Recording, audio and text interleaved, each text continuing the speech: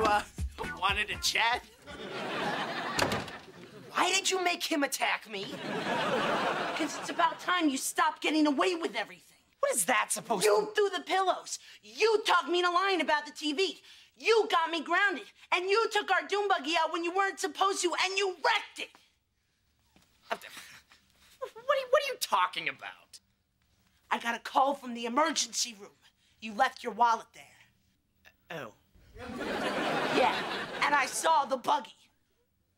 Do mom and dad know? They're gonna. Don't you do that to me. Fine, you tell them.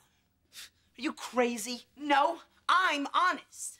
What? I'm grounded for two weeks. Josh, you we know- spent like a hundred hours on that dune buggy trying to fix it up, and you ruined it.